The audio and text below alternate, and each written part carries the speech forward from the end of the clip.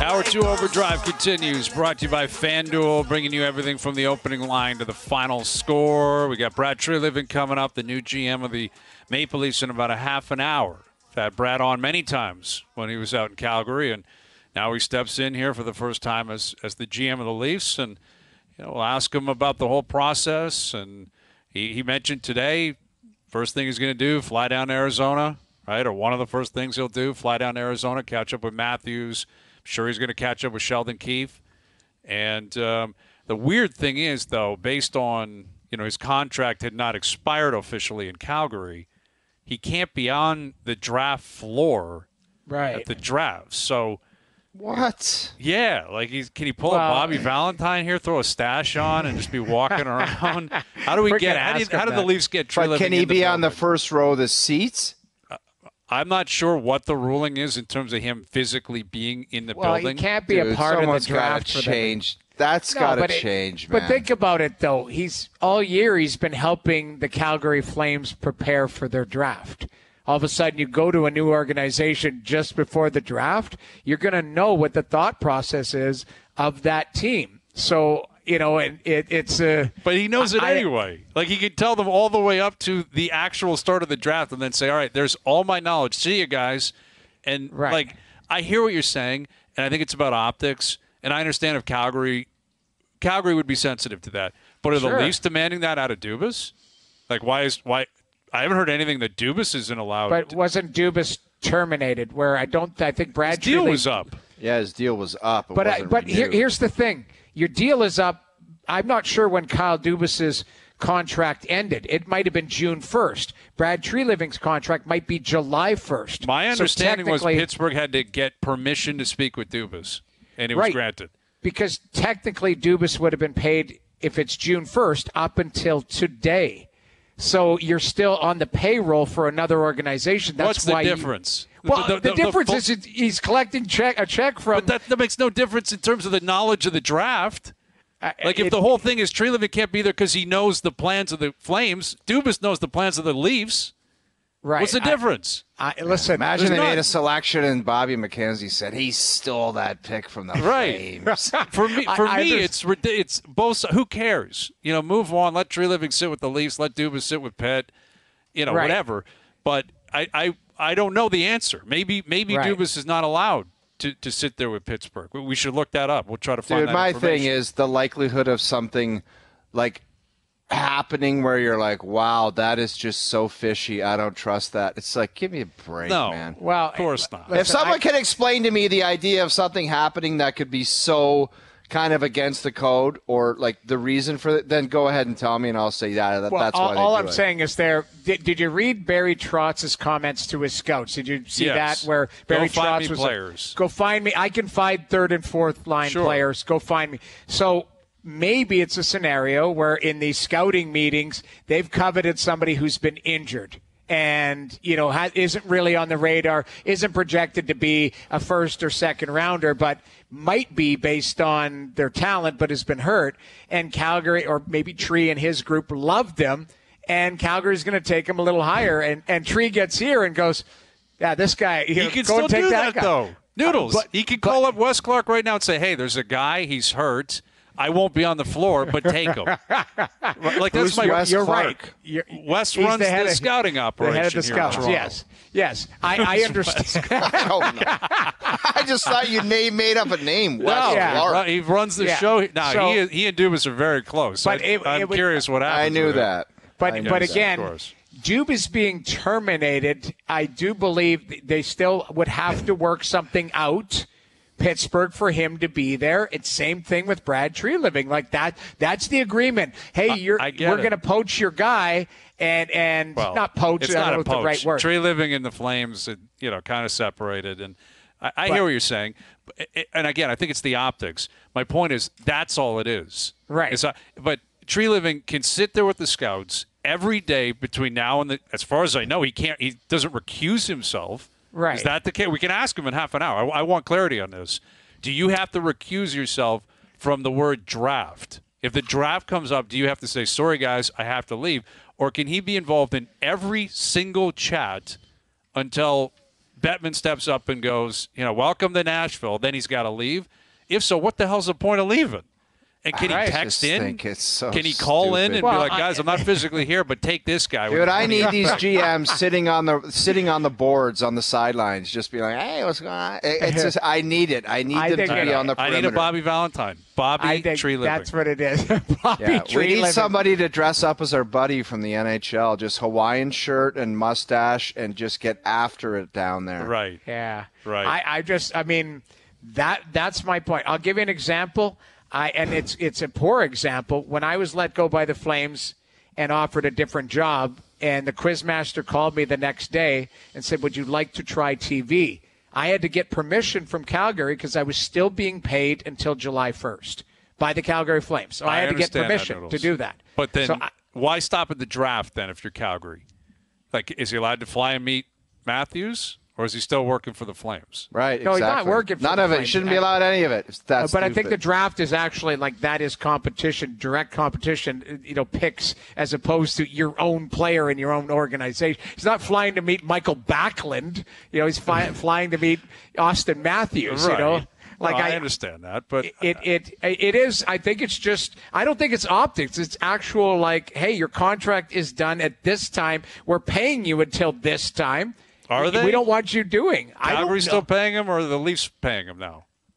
No idea. I'm not. I'm not privy to the contract. What I'm saying is, I'm talking from my personal standpoint. Yes. I was being paid till July 1st. I believe Kyle Dubas's contract probably was June 1st or uh, July 1st. One Right. of most contracts end at the end of the, you The know, season, hockey which season. is June yeah. 30th, and then July Right. 1, the new season. So I, I think it's more the semantics. I understand what you're saying, Exactly. maybe it's ridiculous, It but it's still it's still the the rules. You I, know, I understand, and that's why he won't be there. I, I understand it. And Calgary had the right to say, if we're going to give you permission, because that was a, a report, right? Early on, was they're not allowing him to talk to anybody. right? And then all of a sudden, it was okay, he is allowed to talk to people, but can't be on the draft floor. Okay. Uh, Just to me, it's so goofy. This Yeah. idea that Treliving can be involved with every chat. He could probably still call in or text in, but he can't be on the floor. Can't have him on the floor because Maybe it's the Calgary just can't. I can't accept. What about a, just a have co- what about a constant FaceTime? And he's probably going to be doing a FaceTime Right. at the table. Imagine he's up there Yeah. taking a pic with the draftee. He's on a FaceTime. It's like got everyone's like got a- their shoulders over. They got a Yeah. uh, cut, like a you put a body double up there with a FaceTime. And No, the robot, the robot with the monitor head. Yes. just it's, it's just him. Here's uh, robot Treliving is Yeah. making his way up to the It- podium to make the pick. I don't know. I'm just speaking. And, and when they get up there, do they say we want to thank our, our, our you know our, all of our fans back in Toronto and our GM Brad Treliving, who's down the street at the hotel. We're, we're thinking of you.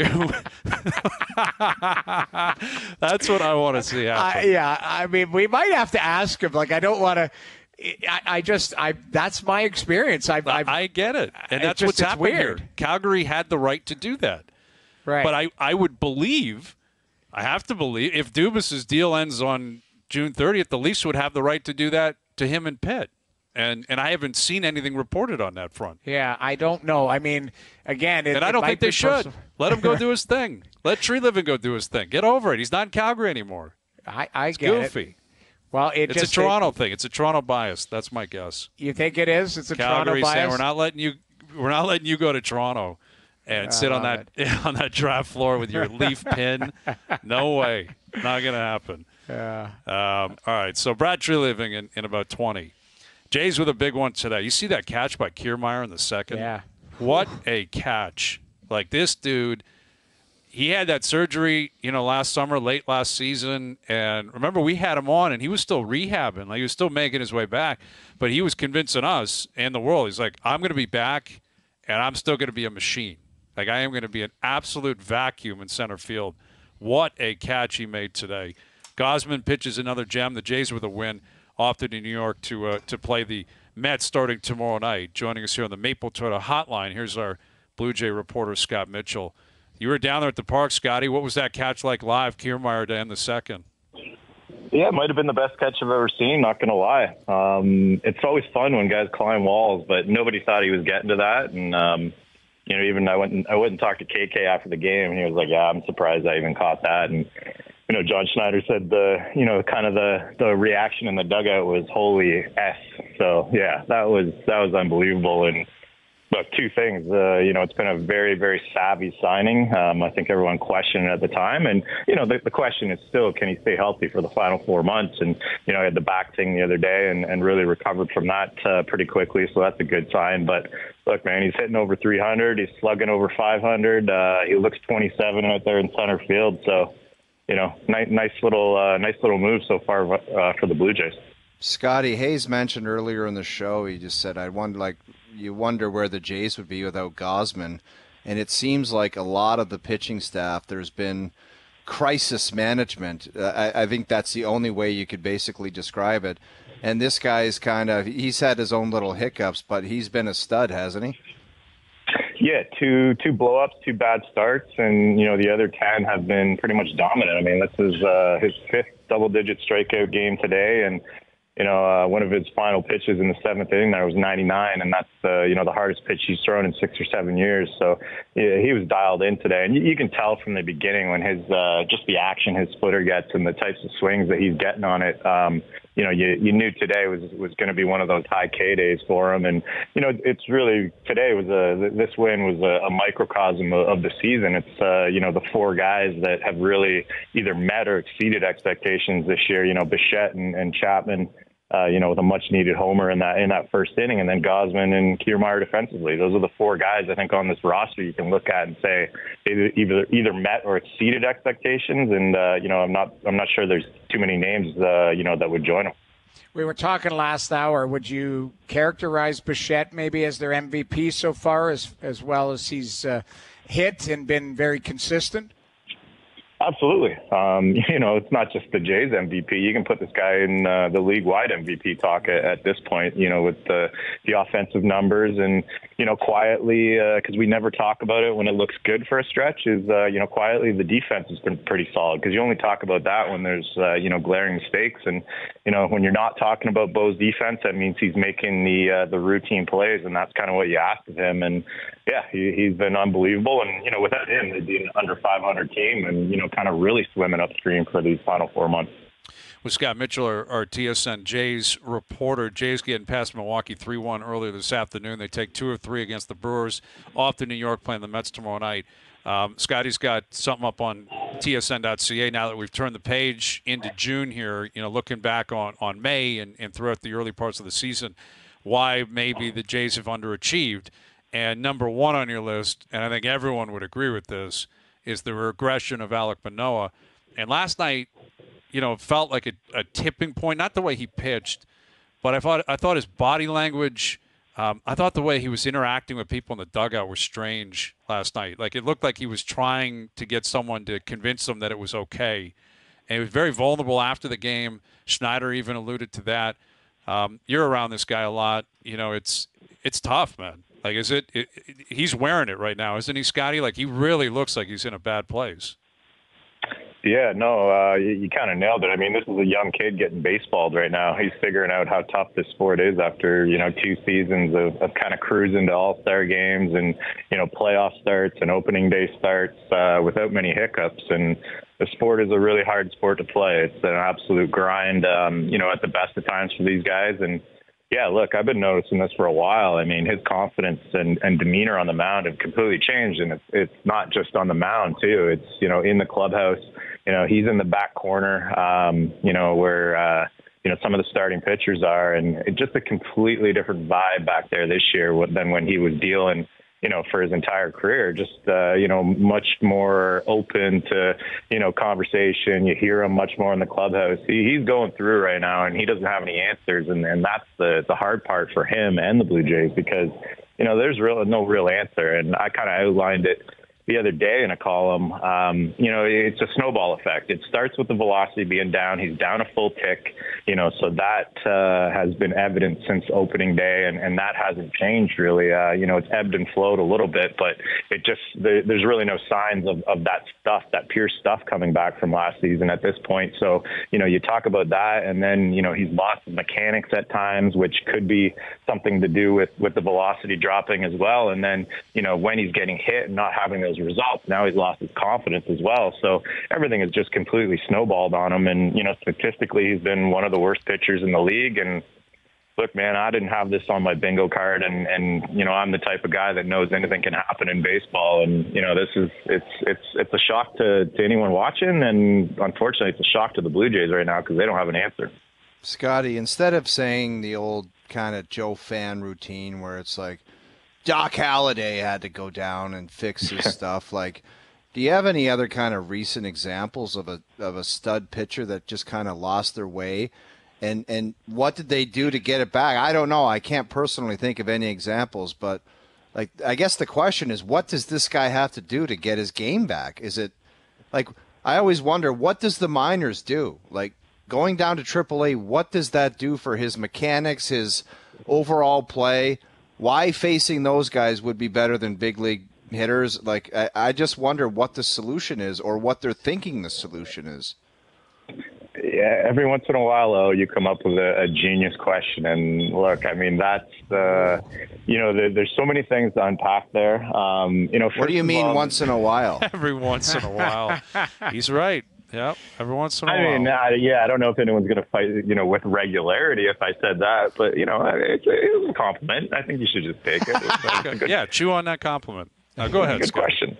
Um, yeah, so I mean, the, you know, the idea of, of giving him a break in the minor leagues, it's just there's, you know, every, this game is such a results-oriented business, so you can go down there and look at the process more than results because it doesn't matter. So that would be the idea there, and you know, the, the Halladay question is is interesting because every time it's been brought up, you know, kind of around the ballpark, I say, yeah, you know, Roy Halladay did it, and, and there's not a lot of other examples. I think a, a real good one off the top of my head is Max Scherzer. I know he, he had to go down after coming up with Arizona early in his career. Uh, it wasn't for a long time, but it was kind of a similar situation a little bit with the command. He was walking a lot of guys. I know that. So, um, you know, it's just to kind of give him a mental break, and and that's where I kind of sit right now, wondering you know, if they have to do something, which I would say I don't know that on the verge would be the right way to describe it, but another dud or two, and, and you're going to have to kind of start looking at something. And, you know, it's no coincidence they've lined up uh, Bowden Francis in the minor leagues, who's probably their best option right now, which is not saying a lot if you had to replace uh, Manoah. So he's pitching on the same day uh, down in Buffalo right now, and that's no coincidence. So I, I don't know that the answer is the minors. I don't know that it's, you know, just some sort of phantom IL stint. So if you send him the minors, he's got to stay down for 10 days at least. Uh, if you if you IL him, he's got to be gone for 15. Um, you know, you can work in the bullpen here again, away from the spotlight.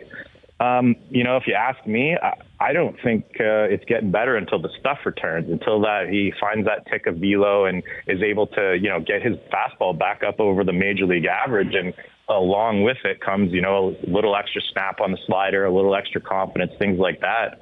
Um, until I see that velo return and that stuff look as sharp as it did last year, um, you know, I don't know that it's just a confidence thing or a mechanics thing. So, like I said, I don't think there's an answer. And with the Blue Jays not having, you know, ready-made rotation options like say the Atlanta Braves or you know the LA Dodgers or something like that, uh, you just kind of roll him out there and, and hope he, uh, you know, can put together five plus and, and give you a chance to win right now.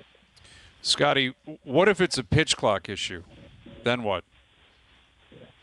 Well, then you gotta find a find a solution, and you know, there's obviously not a lot of easy ones in that scenario. And look, I mean, I, I've had people say to me too, you know, they they think he's he's out of shape, and and that's really kind of affecting his mechanics as well. When you combine that with the pitch clock, the faster pace, um, you know, I know people don't want to hear that in this day and age, but uh, you know, when he comes in looking a little bit different than he did last year, and the stuff is down, and he can't hold his mechanics, can't repeat his mechanics.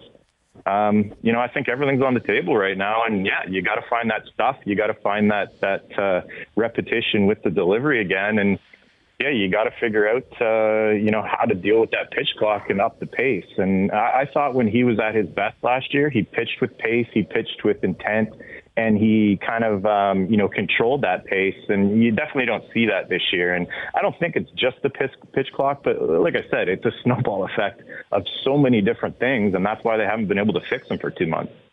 Where are you at with Nate Pearson? Do you think he's uh, starting to round in and you know become a, a reliable pitcher for them? Yeah, reliable is a good way to put it. He's kind of turning himself into that, and you know, John Schneider kind of talked about it in his uh, pregame meeting with us today. He, he's definitely kind of you know sticking his nose into kind of that high high leverage scenario right now with uh, you know Jimmy Garcia, Tim Mayza, and obviously Jordan Romano and, and Erik Swanson. So yeah, uh, he the command has looked good. The the walks are down. Um, you know, I think he's kind of finding his comfort zone again against major league hitters, and you know that's uh, probably the most encouraging part of all this is you know he's been away the from the big leagues for so long, and to come in and and you know kind of work his way into uh, you know some later later inning scenarios, um, you know this early on without too many command hiccups. That's a, a really good sign that he's gonna you know really settle into this role, and you know kind of like we've all envisioned, um, you know probably be a, a real dominant piece at, at the back end of the bullpen at some point. And look, if it happens this summer down the stretch, um, you know that might change, you know, the priorities for the, the Blue Jays at the deadline if if Nate Pearson is, you know, kind of that high octane back of the, the bullpen arm that everyone thinks he can be. Scotty, with this weather heating up, are you shedding gear and dialing up the rollerblades?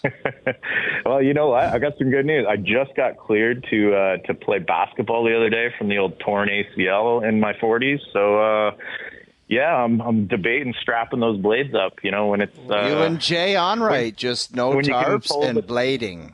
Yeah, when you can pull the tarp off for the first time after a Canadian winter, um, you know that gets that gets me going these days. Yeah, that lakeshore is calling it. your name, man. Just cruising down the lakeshore. I love it. Are you hairy chest guy, Scotty? Oh yeah, I trim up though. I'm uh, I'm a manscaper. Oh, there you go. It. Look at you. Shout Holy crap. I, I, love it. That is a veteran 700 NHL game experience. Doesn't want to look like a bear. That's what it is. Yeah, you got to be careful. Yeah, you got to you just got to keep it in check. Like come on now. I'm not talking, you know, Michael Phelps style. I'm just talking like, you know, just like like High going tight. public. Yeah, you're yeah. a public figure. You're a public figure, yeah, Scott. Exactly. People have to know what's up. We love it.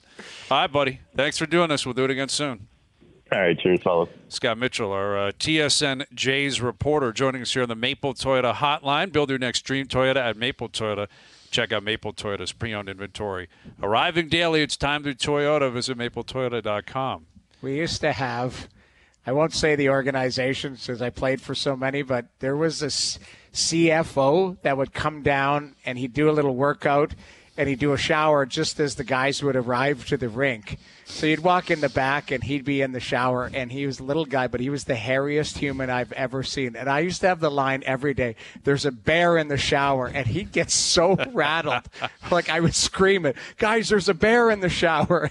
And he would get so mad. He hated my guts, which yeah. is fine because I. Is that good for I your constant, career? he had no nah, power I mean, over that anyway. No, no, he was the numbers guy, but it's still, I used to tease him every day. It was the same joke every day, but I, I loved it. I don't know why. It was an idiotic thing to do, but he was the hairiest. Human. He had yeah, hair from his eyeballs like, down. If you're a hairy back guy, you would think I got to get out of here before the fellas show up. it was. You know what I mean? Like. Mm-hmm. It yeah. was hair well, everywhere. That's where you, you need someone to be honest with you. Like I saw over the weekend at the Grapplers wedding, you know, like Bick, your head guy, like the guy who takes it down right to the scalp. Oh yeah, yeah. He missed like a massive chunk of the back of his right head. in the back. He was sitting in you front saw of him. Yeah. We, we, were right behind the guy. I'm like, how did someone not go to him and say, "Dude, you missed a massive pelt on the back of your head"? That's why I had to tell Peter Laviolette the first time I met him. I'm like, "Dude, you got a giant booger right in your nose." then the second time, you're flying low, and it's just he hated my guts, but you know what? At least I was truthful. All right, Brad Treliving coming up. What's he going to be doing during the NHL draft? We got to get to the bottom of this. And you know, how does he dispose of the the whole you know attraction of the core four? That dialogue around the city is it possible to do it if all the four ba- players are back? And just the whole process of him coming yeah. on board and, and how he sees it playing out. The new GM of the Maple Leafs, Brad Treliving, he will join us next. All right, Brad Treliving coming up here in just a moment. He was introduced to the media today, and you know he's been doing this a long time. This uh, he looked, sounded very composed, very comfortable, which is what you would expect. And right. you know, Dubas, he was introduced to the media down in Pittsburgh, and I thought he approached it the same way he did most of his pressers up here, right? Like pretty honest, you know, pretty pretty deeply rooted answers, and you know, he spoke about his press conference at the end of the season up here, and you know where he was standing on that because a lot of people are pointing to it. You know, two weeks later, he's already got the job down there, but that's what happens in sports. There's turnover, right? Right. People in Calgary, I'm sure, two or three months ago, were thinking Brad's sticking around. Well, he's not, right? He moved on. Now Craig Conroy's running the show out there.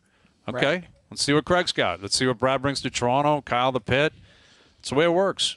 Yes, that's the business of this game. I mean, it, guys move around. We talked to Paul McLean. Paul McLean was, you know, assistant coach here. He was head coach in Ottawa. You, you, you end up moving around, but, you know, it's the relationships that you have. It's, it's the way you treat people and, and the success that you have. Ultimately, you're judged by what you do. You know, everything else is just kind of window dressing. That's, that's the way. And, you know, oh, you said, you know, with Kyle Dubas's tenure, five years here, they had one playoff round win. That's ultimately it. You've got to find a way Look to at get Gerard past it. Gallant. He was uh, Rangers were great last year. They almost took Tampa out of it. This year he's fired. Like just gone. There's, Someone decides that they got to do something different above you. That's just what's going to happen in sports. People move on. Things change. Right. Yeah, exactly. And and ultimately, if you have a, a good foundation, right, if you're built well from the top down, then it doesn't mean the world is going to crumble, right? And I think that's the case here. Like Treliving said it today. It's like I'm walking into a, a team with a lot of talent and a really good team. Yeah. Leafs have been in the playoffs every year for seven years, seven straight years, and none of them have really been that debatable. You know, the first year they kind of squeaked in, but they were so young. There was that one year, the last year with Babcock, where it wasn't great, you know, but they were probably going to get in before COVID hit. Uh, but besides that, generally by like December, you're like, all right, they're in. They're probably going to get home ice. Let's see what happens, right? Right. So that's a good place to be. You know, Brad's walking in here, and he's got a lot to work with here. Yes, Yeah. there's going to be change. Yes, you know, is, is it perfect? No, but no organization is perfect, and it could be a lot worse. Exactly. Could be a lot worse. You could have no budget, no resources, and a bad team. That's Yeah. not the case here in Toronto, right? No. If anything, he's got, you know, you're walking into uh, an organization that has more resources, arguably, than anybody in the league. And, you know, you've been, you had 115 points the previous year, 111 last year.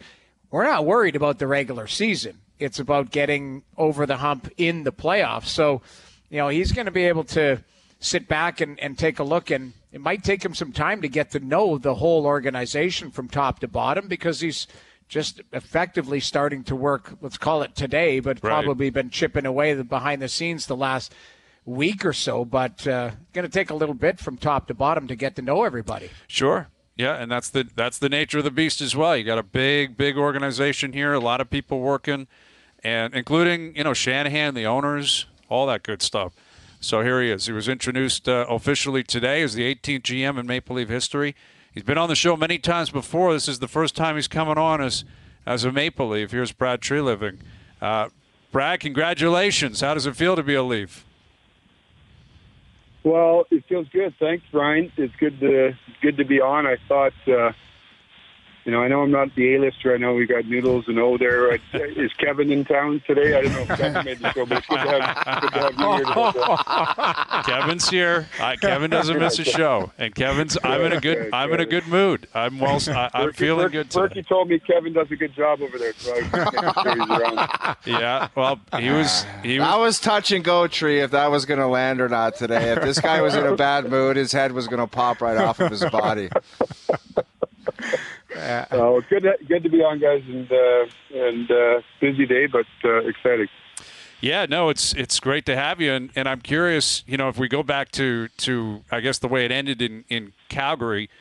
Um, was this always your plan, Brad, to kind of get right back into the game, or did it have to be a situation like this that presented itself for you to decide, you know, I'm going to jump back on the bus and, and keep running shows, and, and it just happens to be here in Toronto?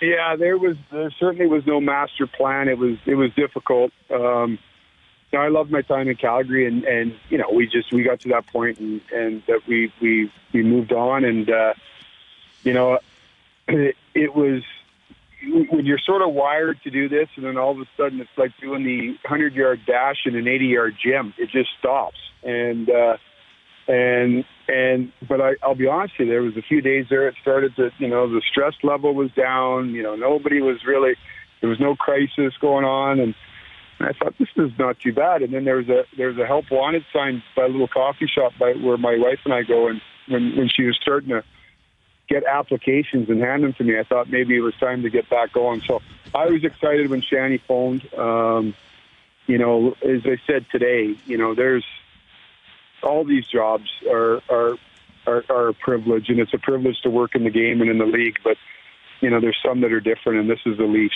And um, you know, I know you guys hear that a lot here, but when you come from the outside and, you know, we've, you, you come into this market, whether it to be play or scout or it's just something different. So, um, the opportunity, but the responsibility I'm, I'm well aware of. And, and so I was, I was excited to get back on the, get back on the horse quick.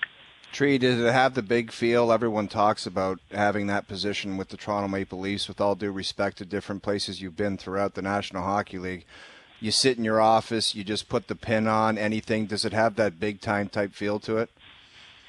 Hundred percent. Oh, and and I've heard people throughout my career, and again, I, this is no disrespect to anything, uh, sure, uh, at all. Um, but you, you know it as a player. You, I mean, you know, you go from Carolina to here, and again, there's no disrespect, but going in there today and walking through the room, and you see the logo, and you look up and you see the pictures and um, you know it, it it hits you today. I'm usually a guy that doesn't, you know, and my wife will will confirm there's you know you not I wouldn't be considered a real emotional guy with things like this but but this one hit me. And I, I you know you, think of people today. Today I think of the late great Pat Quinn and and just the people that um you know the people that came before and you see that logo and you see that you know the pictures on the wall and the people that have come and the history. It's it's like I said, it it hits you, and it hits different than anywhere else, and uh, um, you know that's real. It's real. So uh, exciting today. Tree, you talked about um, kind of observing the team with the outside lens.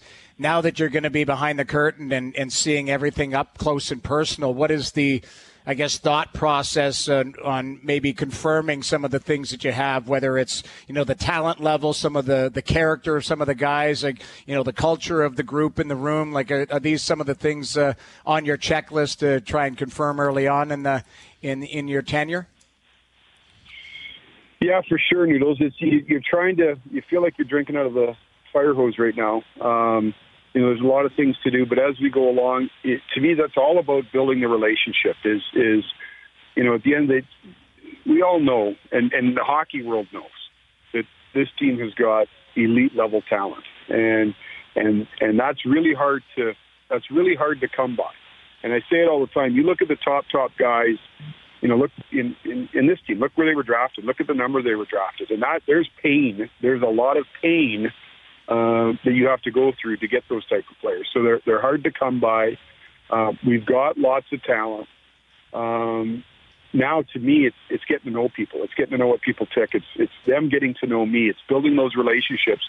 Once you have those relationships built, then you, you know, and and there's trust. You can push people. You know, maybe maybe the points that they thought they they couldn't before. And you know, the big message for me right now, without without, and again, it's easy for me because I'm I'm I'm coming from the outside, and and it's my observations. And I was asked today, like, you know, I know we hear about the core four, and and and again, for me, I'm that's a that's a big lure for me to take this job. Is those are those are some of the best players in the world, and it's hard to acquire them, and and they it's hard to find them. But I look at you know part of how I operate is is I'm fiercely protective of my players.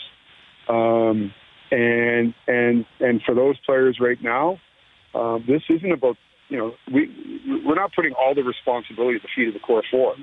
And and quite frankly, it's not about four. And I don't I don't want to hear that term. I want to hear this is about the Toronto Maple Leafs. It's not about four guys. It's not about two guys. It's not about five guys. It's about 23, 24, 25 guys that we have in our team.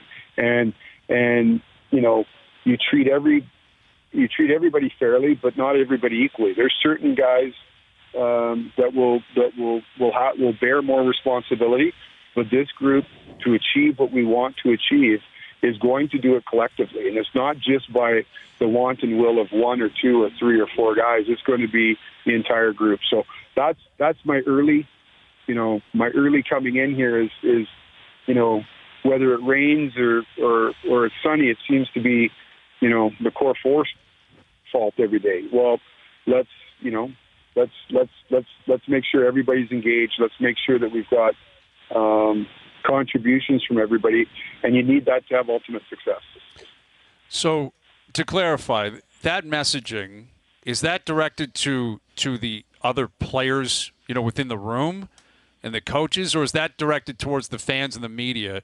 Because you know, there's so much focus on the core four, and if they're all going to be back, Brad, I'm not sure how. I don't think you're ever going to eradicate that from a fan perspective. Like, there's mm-hmm. so much focus on these four guys.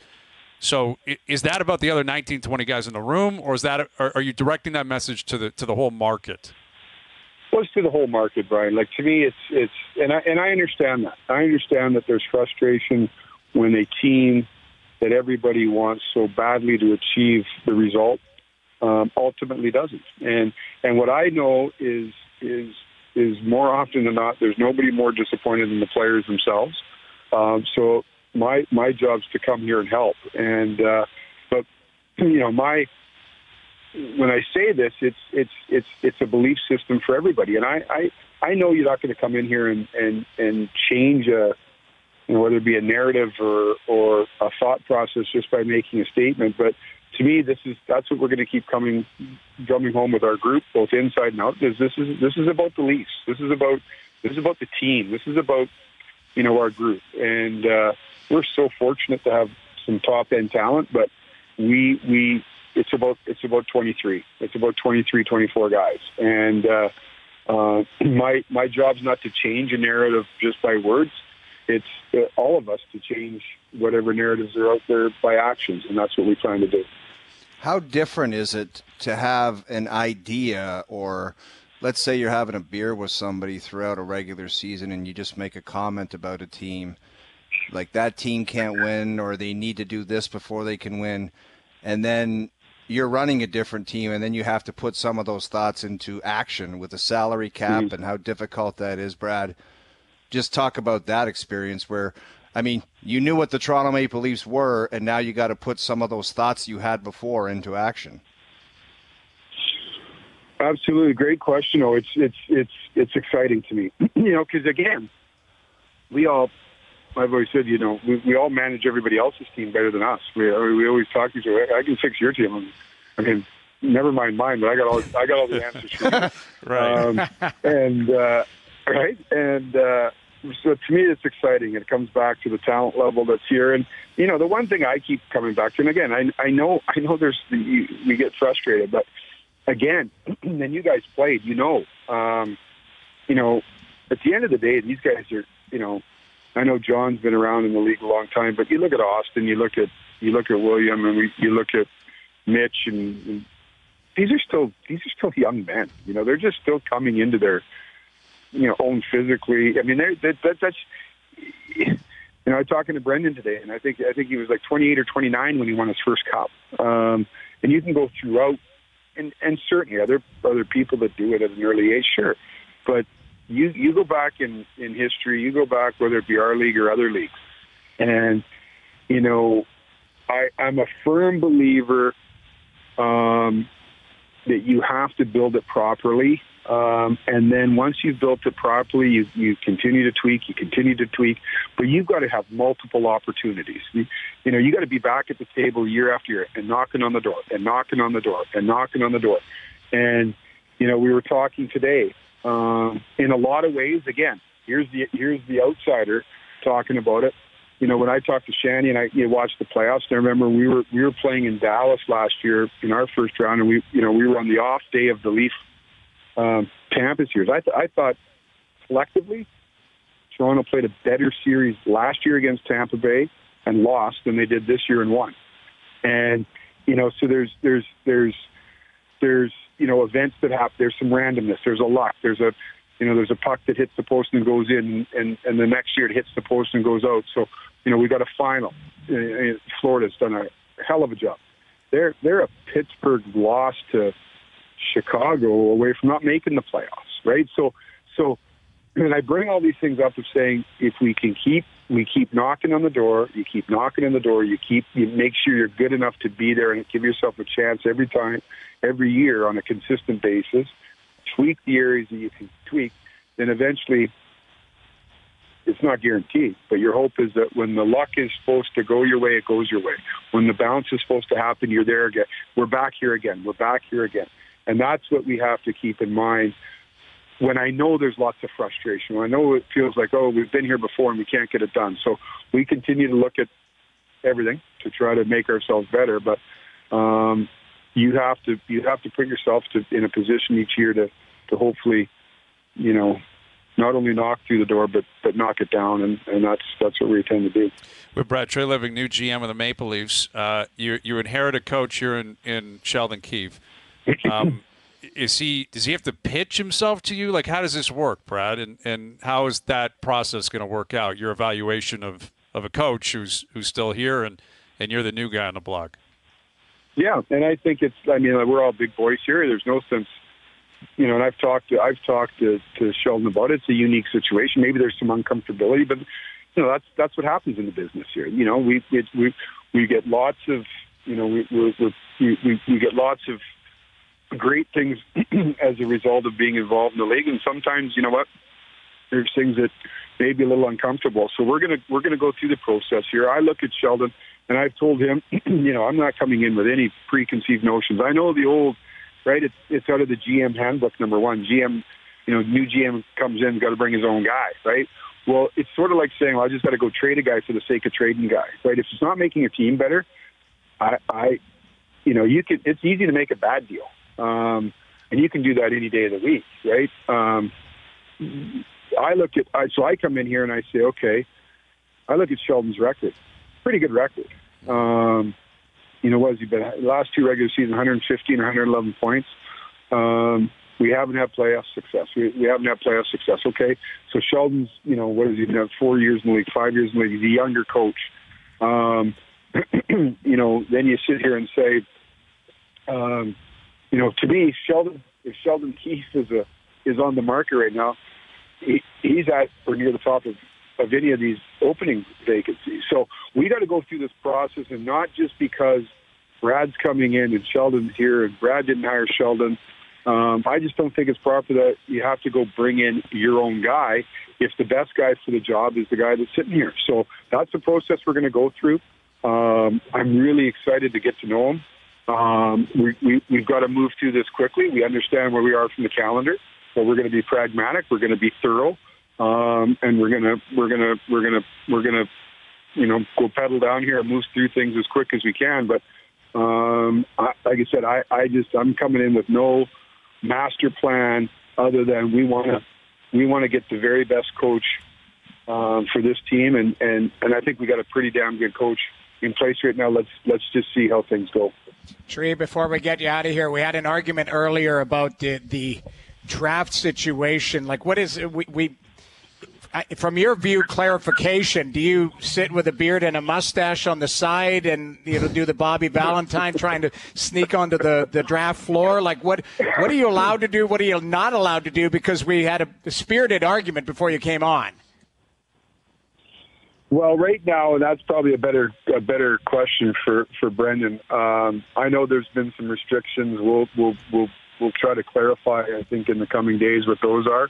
Um, and whatever they are, they are. And and, and um, I've got full faith in, in the you know the staff here um, in terms of their preparation for the draft and you know those things. I know everybody's sitting going, well, just the draft is coming up, and the manager has been, you know, Wes Clark, who who I think does a good job, and his, his staff have they're prepared for the draft. Um, so we'll see what's going on and you know, if we have to bring out the, you know, the fake afro and uh, and uh, you know the rubber gloves, we, we will. But hopefully, uh, hopefully that can get straightened around or get clarif- clarified here in the coming days. Yeah, you would. I mean, because uh, like as of today, you don't have to recuse yourself, do you? Like if there's draft conversations, are you allowed to be in the room if there was a meeting at six with Wes and his team? Well, we haven't had those yet. I'm I'm gonna. I, I've been. Uh, I've been sort of doing the circuit here today, so I'm going to sit with Brendan, and I know he's going to have hopefully some clarification here um, once we get going tomorrow. Okay. Hashtag get Brad on the draft floor. Get him on the get on the get on that floor. Right? It's got to happen. Yeah. Um, Yeah, well, yeah. congrats on the on the gig, and you know, welcome to Toronto, and and uh, it's it's going to be a fun ride. So, best of luck with it, and thank you for doing this. I appreciate it, fellas. Good talking to you. We'll see you soon. You got it, Brad Treliving, new GM of the Leafs. Sounds like he's kind of hoping cooler heads prevail a little bit, right? Like Shanahan, the Flames, they'll figure it out, but I don't know. Well, As of now. Yeah. it is what it is. Yeah. All right. Okay. Yeah. You guys Gotta are good? go. Or, okay. Yeah, no we gotta comments. go. Sorry. yeah, no we gotta comments. fly. That's what they're. No, I got it. Okay, sure. Um, all right, more on that. We'll recap. Overdrive continues. TSN 1050 and on TSN 2. All right, thanks again to Brad Treliving for coming on. Um, you know, we asked him about Sheldon Keefe, and he's going to evaluate that process, right? Like, it, it's not a definitive answer. What's interesting, though, is Dubas is going down there, and he has no option with the coach. Right. Like, Mike Sullivan ain't going anywhere No, and- sir. which is really interesting that Dubas, you know, is in a different spot. He's got more power, a bigger title. Yet, when it comes to the coach and the core players, you're not doing anything. Sid's not going anywhere. Gino's not going anywhere. Sullivan's not going anywhere. It's kind of interesting. Yeah. Um, you know, we'll see what he's going to be working around the perimeter. Right. Yeah, Sullivan's one of those coaches that he's he's basically an assistant GM slash coach. yeah. He's yeah. well. He was part of the search project process. Exactly. So exactly. Kind of feels like Babcock when Dubas first got the gig. You know. exactly. Uh, final hour coming up. Overdrive continues. TSN 1050 and on the TSN app.